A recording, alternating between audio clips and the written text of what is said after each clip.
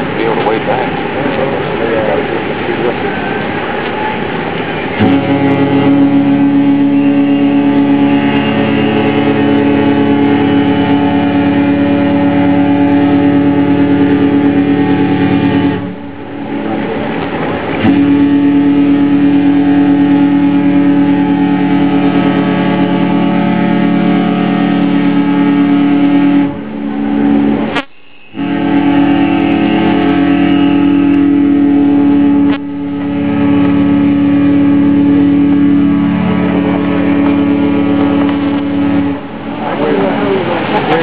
Ha ha